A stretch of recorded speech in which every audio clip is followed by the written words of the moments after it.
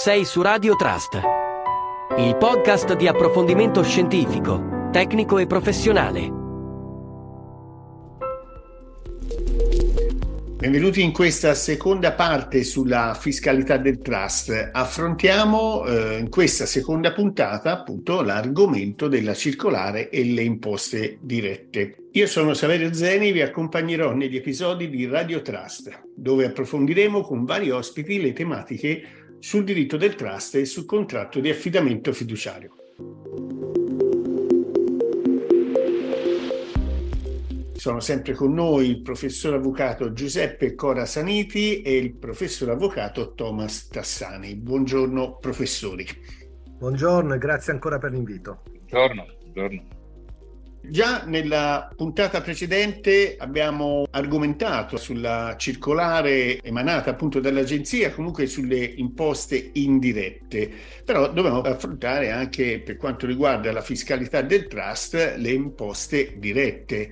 Quindi, professor Corasaniti, come cambia secondo lei appunto il regime fiscale dei trust trasparenti non residenti con riferimento appunto al requisito della territorialità? Procediamo con ordine. Il trust si considera trasparente quando i beneficiari sono individuati, quindi non soltanto nominativamente individuati, ma quando questi beneficiari hanno il diritto di pretendere incondizionatamente dal trustee i redditi rivenienti dalla gestione dei beni in trust. Quindi il beneficiario esprime, come si suol dire, una capacità contributiva attuale ed effettiva nei confronti del trustee a pretendere questi redditi.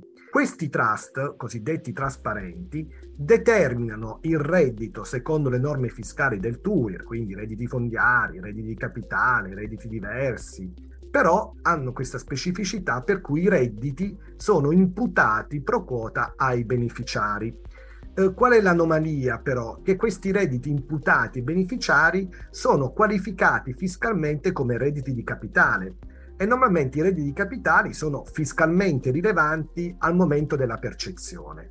Qui rileva soltanto il mero meccanismo dell'imputazione, della cosiddetta trasparenza fiscale, indipendentemente dall'effettiva percezione. E tutto questo è stato eh, puntualmente indicato nella lettera G-Sexes dell'articolo 44 del TUIR.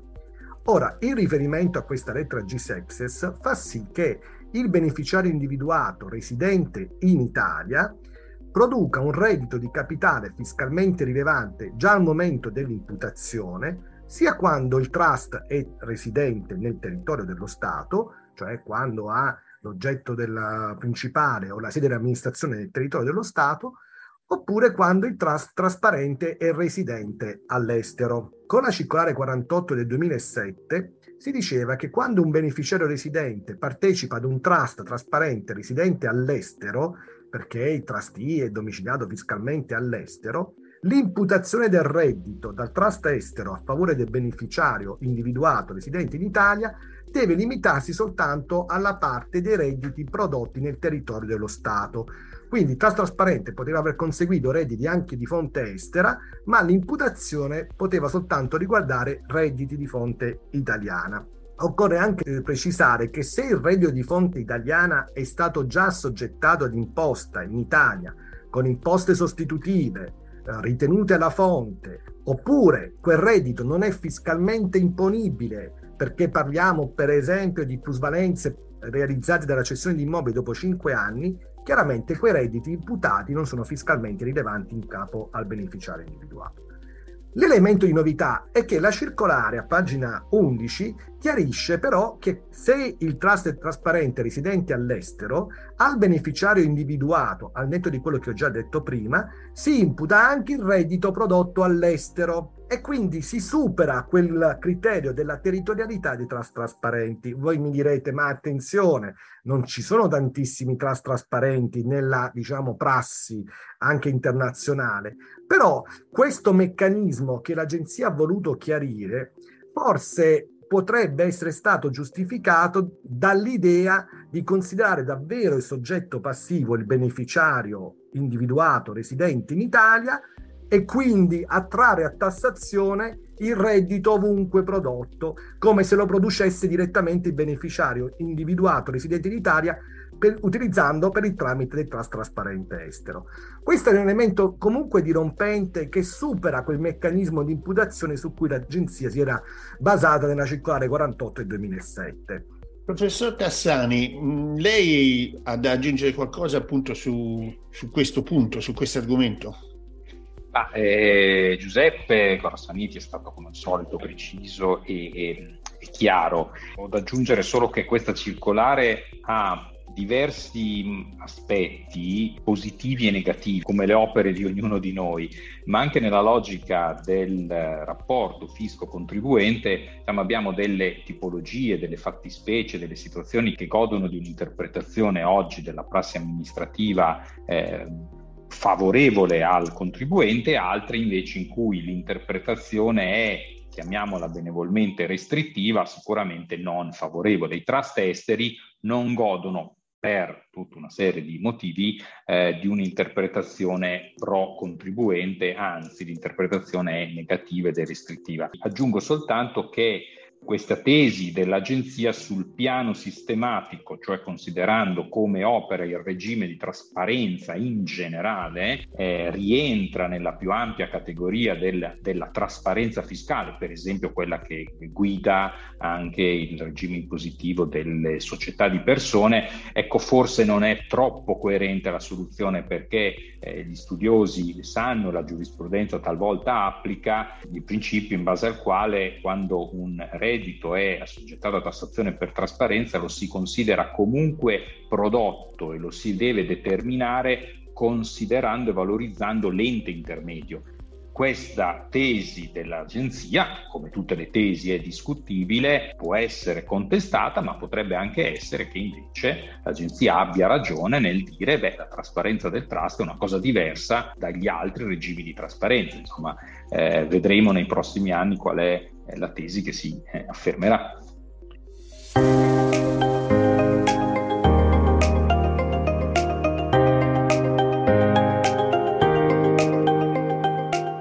Rivista Trust e attività fiduciarie in rete. Bimestrale di approfondimento scientifico, tecnico e professionale. È possibile abbonarsi alla rivista bimestrale in versione stampata e digitale Ogni giovedì il bollettino avrà un'anticipazione o una notizia commentata relativa a novità in Italia e all'estero. Per maggiori informazioni telefonare al numero 0687 80 56 50 oppure per posta elettronica all'indirizzo editore chiocciolarivistataf.eu.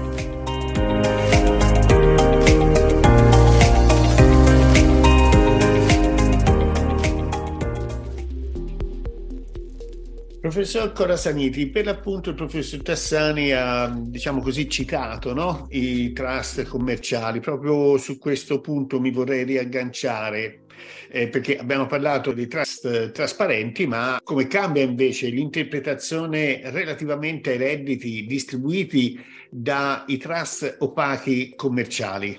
Fino ad oggi l'Agenzia delle Entrate ha sempre sostenuto che le distribuzioni di trust opache non sono mai fiscalmente rilevanti per evitare la doppia imposizione. L'elemento, diciamo, di novità su cui c'è molto da riflettere è che um, l'Agenzia delle Entrate a livello interpretativo è arrivata a sostenere che il trust commerciale, essendo equiparato a un ente commerciale, quindi soggetto passivo IRES, produce il reddito di impresa determinato secondo le categorie del, tipiche di una società uh, di capitali sostanzialmente, quindi reddito di impresa, e quindi può produrre dividendi che come sappiamo sono detassati al 95% o plusvalenze derivanti da cessioni di partecipazioni che soddisfano i requisiti delle plusvalenze esenti della cosiddetta participation exemption, anche queste esenti al 95%. Quindi il trust commerciale, nel momento in cui incassa dividendi dalle sue società partecipate o realizza plusvalenze dalla cessione di partecipazioni che soddisfano i requisiti della participation exemption, quindi dell'articolo 87 del TUIR, sono sostanzialmente soggetti ad imposta IRES al 5% dei dividendi e delle plusvalenze.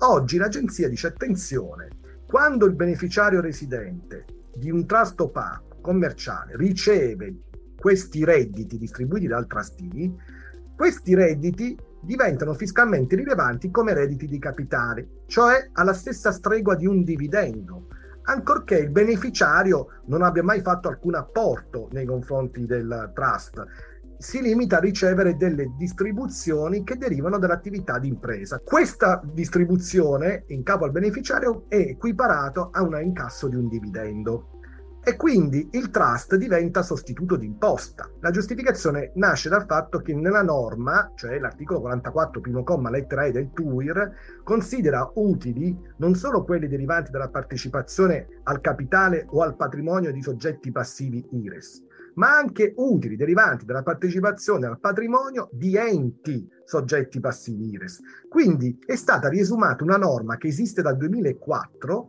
che non è stata mai applicata in passato. Tenendo conto di questa interpretazione innovativa, l'agenzia dice il trustee può uh, ravvedersi e uh, applicare, seppur tardivamente, l'imposta sulle distribuzioni passate, quindi pregresse, con la ritenuta del 26%, con gli interessi ma senza sanzioni. Quanti sono i trust commerciali oggi residenti opachi nel territorio dello Stato? Probabilmente si conteranno sul palmo di una mano, perché sono pochissimi, nella stragrande maggioranza sono enti non commerciali. Diciamo così che un minimo di plausibilità questa interpretazione ce l'ha, ha una sua fondatezza, vuole evitare salti di imposta, vuole creare a livello sistematico una parità di trattamento, bisognerà capire in quali casi si può davvero configurare un'attività commerciale. Il professor Tassani c'è ancora da lavorare, insomma, l'agenzia eh, o comunque chi di dovere deve ancora fare dei passi avanti per cercare di rendere ancora più, diciamo, trasparente l'applicazione di queste norme.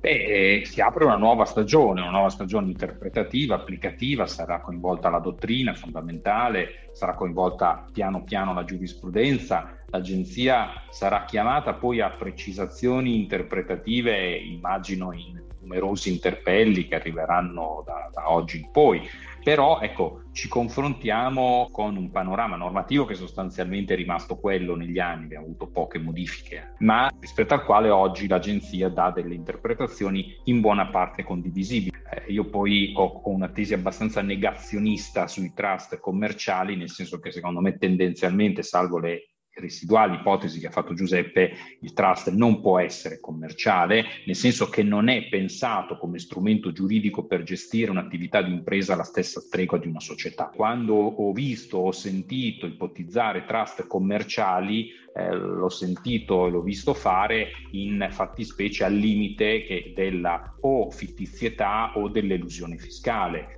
Questo credo sia la base del ragionamento anche dell'agenzia che ha voluto dare un colpo a questi trust commerciali, come dire, disincentivandoli dall'inizio. Eh, quando poi gli strumenti in realtà per un trust fittizio, un trust elusivo ci sarebbero oltre a quello interpretativo per contrastarli, ma come dire è stato una, un, un, segnale di disincentivo. La tesi che davvero è dirompente ed innovativa, a mio avviso ha due aspetti, uno di critica e uno invece di sostegno. Quello di critica è, è dato dal fatto che il rapporto beneficiario-trust non è un rapporto partecipativo.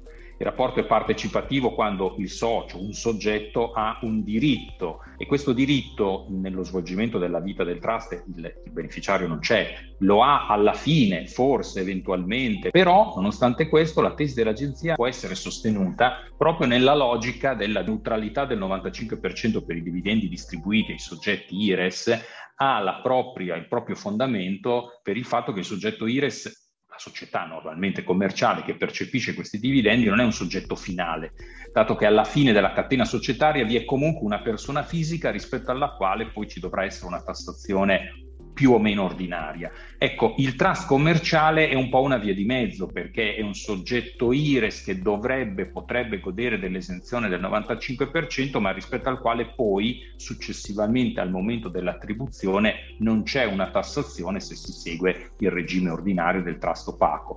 Ecco che quindi andando a lavorare sui fondamenti de- di questo regime di esenzione, l'agenzia ha trovato una soluzione non troppo fondata sulle norme, quindi criticabile, a mio avviso giusta, proprio nell'ottica di trasparenza, questo credo che vada proprio a rafforzare, eh, mi sembra di capire, sempre più l'opportunità dell'istituto del trust, no? perché se da una parte l'Agenzia delle Entrate non soltanto interpreta eh, con la possibilità di criticare l'interpretazione, ma mi sembra abbia anche un orientamento di apertura e di contrasto a quelle che sono un po' le, le strumentalizzazioni, mettiamola un po' in questo modo. Professor Corasaniti, andiamo in chiusura. Le vorrei chiedere appunto in quali stati eh, o territori, soprattutto a fiscalità privilegiata, si considerano stabiliti i trust opachi esteri?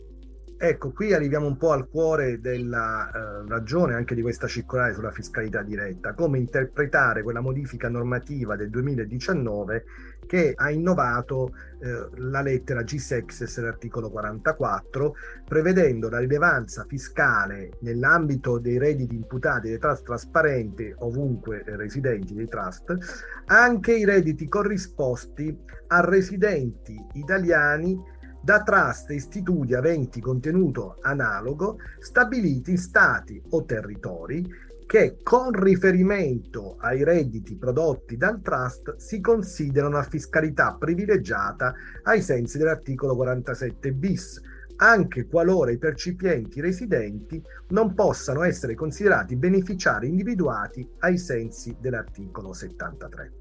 Questa modifica normativa in qualche modo è confermativa di una interpretazione dell'Agenzia delle Entrate nella criticatissima circolare 61 del 2010, dove si parlava anche in quel caso di trust inesistenti fiscalmente e così via. E quindi che so- sia una sorta di interpretazione autentica di quello che era già in passato.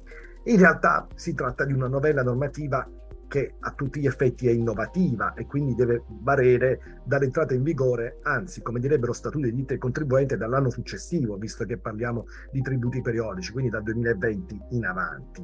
E poi, diciamocela tutta, la lettera G-Sex faceva riferimento prima ai redditi imputati dei trust trasparenti, che è il principio di imputazione mentre qui si parla di redditi distribuiti, cioè il principio di cassa. Quindi è evidente che questa modifica normativa ha un evidente effetto innovativo, ma l'agenzia cercherà di sostenere che una norma, tra virgolette, di interpretazione autentica, anche se non l'ha scritto nel, nel provvedimento, per applicarla retroattivamente, magari anche per accertamenti fiscali pendenti in sede contenziosa.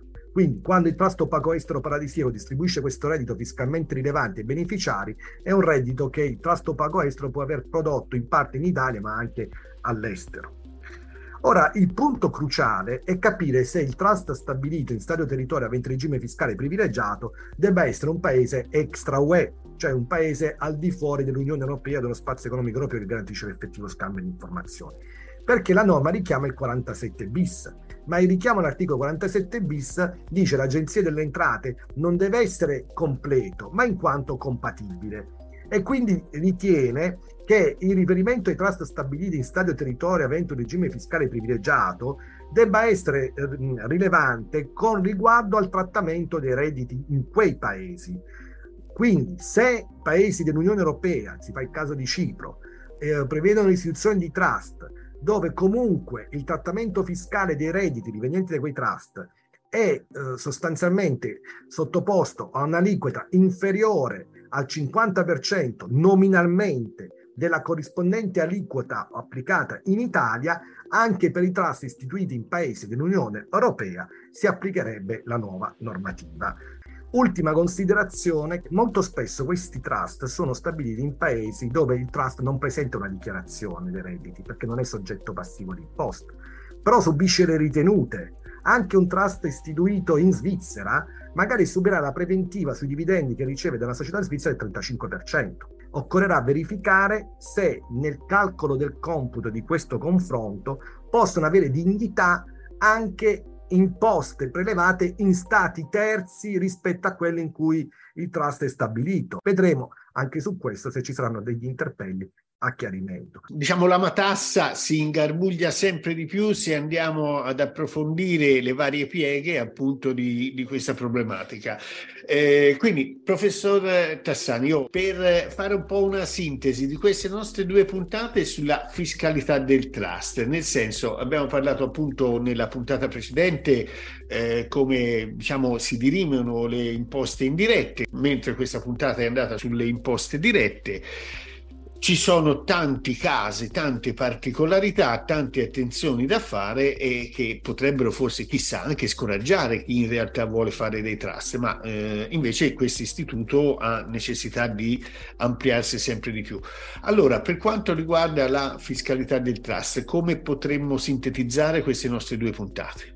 Ma dunque Saverio, non è, non è facile rispondere ad una, ad una, domanda di questo tipo perché la circolare è molto complessa e tocca diversi temi. Possiamo dire in estrema sintesi che eh, per i soggetti che intendono costituire trust o hanno già costituito trust e quindi operano a diversi livelli come beneficiari, come trustee, come disponenti. Questa circolare chiarisce molte posizioni, molte situazioni che si erano, eh, che si erano fatte complesse in termini applicativi e interpretativi e accoglie anche delle soluzioni pro contribuente, chiarissimamente pro contribuente. Al tempo stesso, questa è la complessità eh, della, della, circolare, direi della realtà e della vita in generale, anche di quella giuridica. Abbiamo invece situazioni che eh, impropriamente possiamo dire essere penalizzate, ma che comunque sono trattate in modo sicuramente non così favorevole dalla circolare, in modo anche molto condivisibile per alcuni aspetti e quindi è opportuno prestare molta attenzione nella gestione delle dinamiche del, del trust, nelle, nelle scelte di costituzione, nei beni, nei momenti attributivi, ci sono tanti aspetti su cui non ci siamo soffermati. Il consiglio quindi è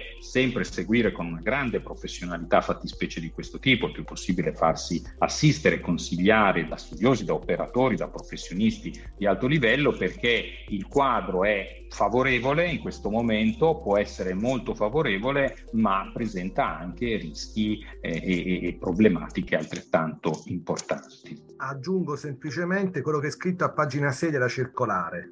Si fa presente che il documento tiene conto dei contributi ricevuti dagli operatori in esito alla consultazione pubblica aperta l'11 agosto 2021 e conclusa in data 30 settembre 2021 per fornire ulteriori chiarimenti su diversi aspetti relativi alla disciplina fiscale del trust.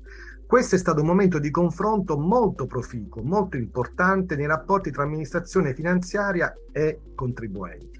Sono pervenuti tanti contributi da associazioni di categoria, anche l'associazione Trust in Italia, eh, altre associazioni, studiosi, interpreti, ciascuno ha dato il proprio contributo e l'Agenzia delle Entrate in queste 65 pagine ha cercato di fare una sintesi, eh, in alcuni casi pienamente condivisibile, in alcuni casi eh, criticabile, eh, migliorabile, perfezionabile, però almeno le regole del gioco sono chiare e quindi questa è una circolare che secondo me trasmette anche certezza agli operatori e ai trustee. Il confronto dovrebbe animare tutte le circolari prima di essere diffuse e devo riconoscere che negli ultimi anni l'Agenzia Centrale ha seguito questo modello di consultazione, devo dire la verità, il lavoro è di buona qualità, nel senso che sono state recepite gran parte delle considerazioni che la dottrina ha proposto. Grazie ancora per l'invito, è stato davvero un piacere. Ringrazio anche l'amico Thomas Tassani per questo duetto. Ormai ci ritroviamo in tante occasioni a confrontarci su questo bellissimo istituto che è e-Trust. Grazie Giuseppe, grazie Saverio per l'ospitalità. Grazie a tutti, questa è Radio Trust.